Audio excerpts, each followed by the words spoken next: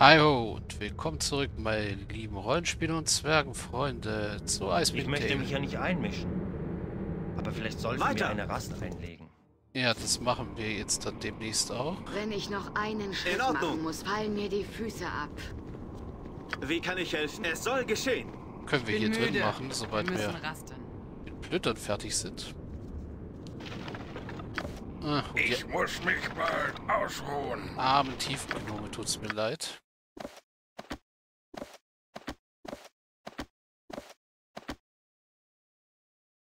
So, äh... Blub. Dein Befehl. Ich Sofort. bin erschöpft. Lasst uns eine Weile rasten. Die hatten ja nichts Interessantes dabei. Was hat es, hatte das Die Dämonen des Schlafes Duplikat denn dabei? Eine Ich brauche eine? Pause. Was für eine denn?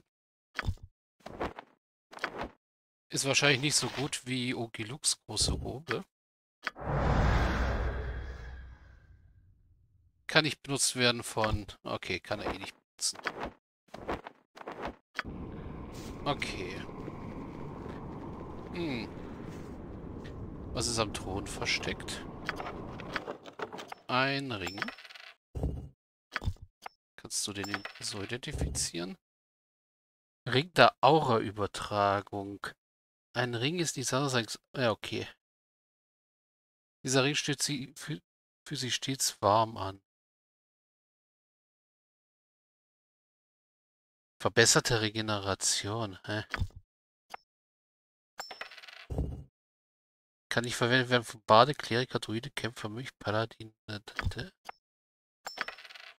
Kann dann nur von dir verwendet werden, oder was? Ja? Gewiss. Ah ja, und jetzt halt eher langsam Lebenspunkte, okay. Hat dafür aber Resistenzen weniger.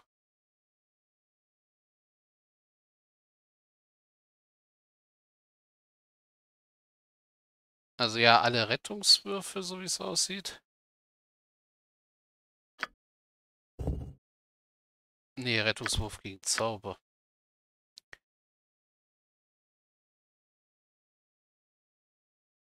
Gucken wir mal kurz, wenn du den wieder ablegst. Hast du 8,6. Wenn du den wieder anlegst, hast du 8,8. Okay. Äh, ja, kann man so lassen.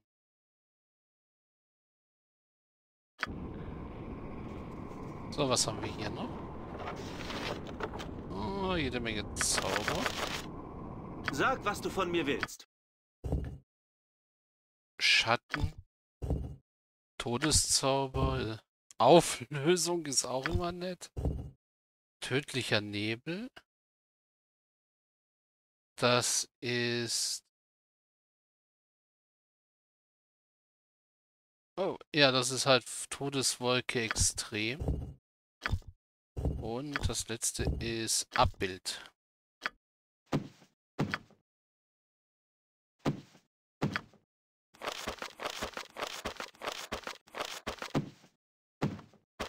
Können erstmal da rein und zu ihm. Dein Befehl. Ja? In Was Ordnung. haben wir hier noch? Oh, Samen.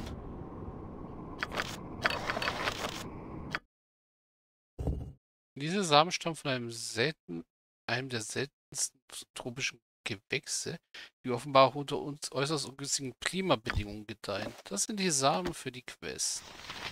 Tensors Verwandlung.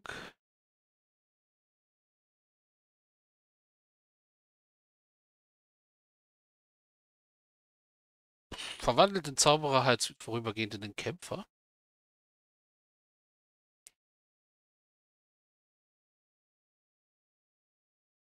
Interessantes Teil. Fleisch zu Stein, also Gegner versteinern. Absolute Immunität. Kann der Zauberer, äh, kann der Anwender nur von magischen Waffen plus 5 oder besser verwundet werden. Geringe Wirkungsdauer vier Runden.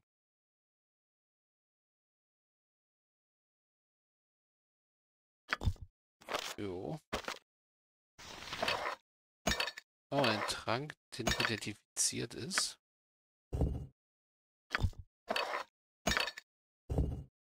Unverwundbarkeitstrank. Hm. Auch nicht schlecht. Das sind Unsichtbarkeitstränke, ja.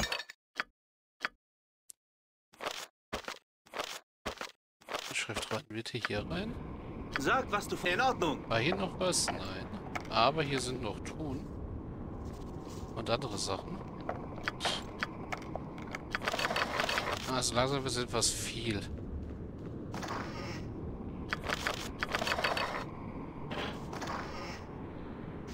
Ein Amulett. Trank des Feuerodems. Trank der Schöpferkraft. Und ach, unser Inventar ist voll.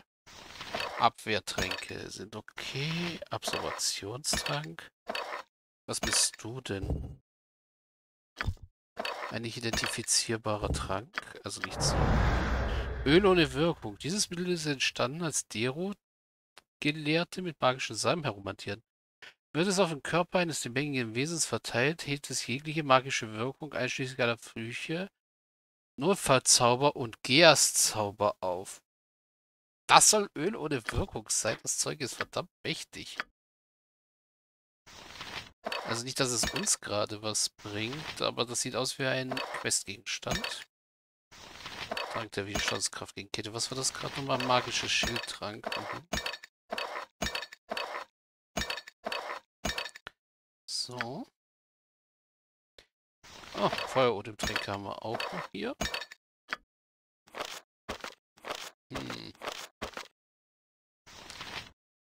Flammende Wolke ist nett. Wort der Macht tot. Gefühl Hoffnung, davon haben wir ja schon welche. Kombinierter Notfall. Kanalisiert einen Teil der magischen Energie des Anwenders und setzt diese unter bestimmten Bedingungen frei. Der Anwender wählt drei Zauber aus und setzt dann eine Bedingung fest, wann diese drei Zauber ausgelöst werden. Eine Bedingung wäre beispielsweise, wenn der Anwender von einem Feind verletzt wird. Alle drei Zauber werden augenblicklich gewirkt, wenn die Bedingung eintritt. Die drei Zauber müssen den achten oder einen niedrigeren Grad haben. Ist ein 9. Grad Zauber. Das Ding ist böse. Also das ist der Kettenzauber, Ketten oh, oh shit Zauber. Massenunsichtbarkeit, ist klar, was das macht. Kakoscheusal, hi. Der Zauberer teleportiert ein mächtiges Scheusal herbei, das sofort in Reiserei verfällt und jedes Wesen, das er sieht, angreift und tötet. Wesen, auf denen Schutz vor Bösen liegt, werden von dem Scheusal nicht angegriffen. Dies ist ein äußerst gefährlicher Zauber, den man in neuen Zeiten höchster Not einsetzen sollte. Ja, kennen wir aus dem Vorspann. Finger des Todes. Jetzt haben wir alle Todeszauber, glaube ich. Und Monster herbeirufen. Ja. Questgegenstand kommt mal zu dir.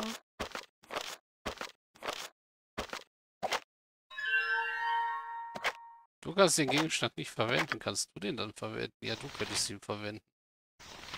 Hm. Was hätten wir? Ach, gib mal den Feuerball her. Feuerball ist immer gut. Äh, das wäre noch gut. Du hast. Achso, du hast die Quest-Gegenstände, dann kommt es zu dir und Behälter öffnen. Die Samen kommen dann auch mal zu dir. Jetzt haben wir schon mal das Fass mit klarem Wasser und die Samen. Ja, hups. Nee. So, dann haben wir noch Schöpferkraftstrank und eine Halskette. Was machst du denn? Amulett des dunklen Fleisches. Ja, liegen dieses Amulett wird der Träger gelähmt und von Krankheit befallen. Warum? Das Amulett des dunklen Fleisches, ein schrecklicher, verfluchter Gegenstand, gefertigt von dem kalischitischen Nekromanten Niri Eddin verkörpert Krankheit und langsames Siechtum. Eddin gab das Objekt seinen geheimen Feinden als Geschenk und holte es sich durch seine Diebesdiener zurück, nachdem die Krankheit ihren Lauf genommen hatte. Niri soll immer noch irgendwo in den Reichen lebendig sein, trotz der Tatsache, dass er ein Mensch war, der 832 Teil dieser Zeitrechnung geboren wurde. Äh, welches Jahr haben wir?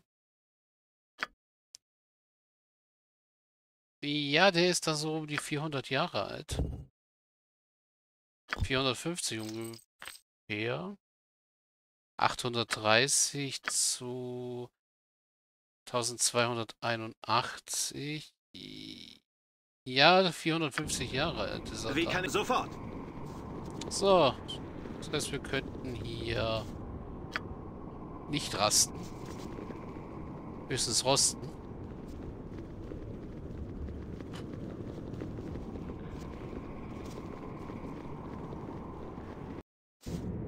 Gewiss. Gut, das heißt, wir wären hier. Ja, eigentlich fertig, weil hier kommen wir nicht weiter. Irgendwie zeigt die Karte da was falsch an. Ich Ach. möchte mich ja nicht einmischen. Aber vielleicht sollten wir eine Rast einlegen. Wenn ich noch einen Schritt machen muss, fallen mir die Füße ab. Ja, deswegen gehen wir jetzt. Ich bin Oh, müde. Wir müssen rasten. Dein Befehl. Weiter. habe ich noch mehr liegen lassen? Ja, dann. Ich muss mich bald ausruhen.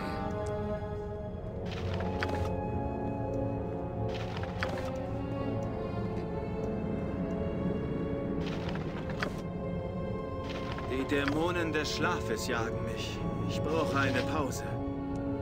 Hier ist immer noch die Stimme von Dudel Anatar Ja? in der Gegend. So, ich frage mich nämlich, was man mit denen machen kann. Es soll geschehen. Ob wir die auch wieder bei unserem Magier des Vertrauens abgeben könnten. So, okay. Die Minen haben wir geklärt. Wir waren in Oubliette. Haus des Edelsteinschleifers, das hatten wir auch schon. Das heißt, wir gehen jetzt wieder zurück in unseren Wachturm rasten und gehen dann in den anderen Palast rein. Es soll geschehen.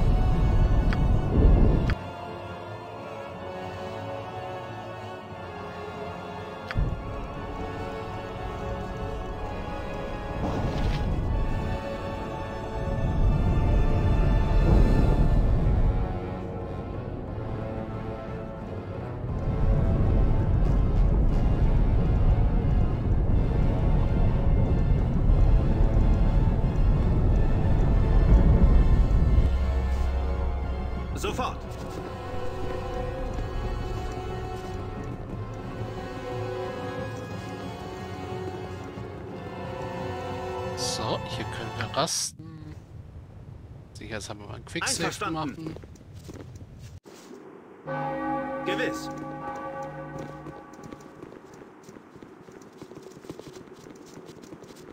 Warten, dass sich alle sammeln. Einverstanden. Gut.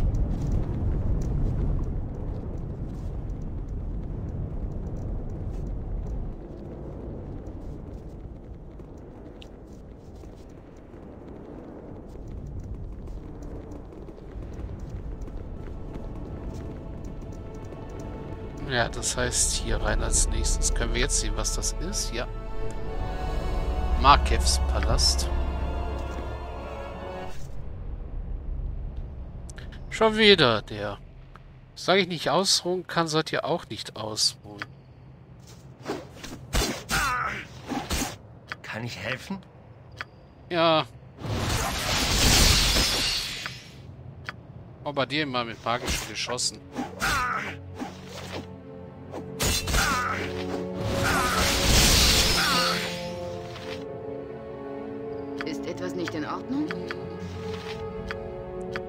Heil Wie mal. kann ich am besten zu Diensten sein? Du nochmal magische Geschosse.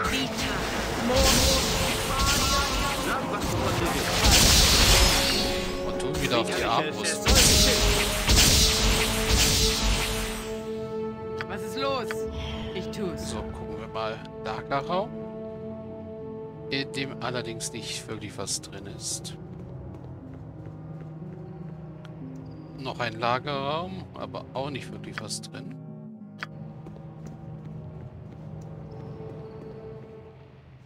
Glühwürmchen. Kreischer. Roter Mykonid, okay.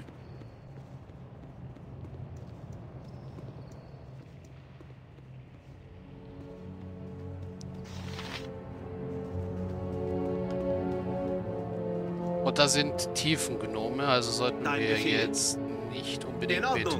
Flächenzaubern rum schmeißen, sondern einfach erstmal die Leidenschaft vernichten.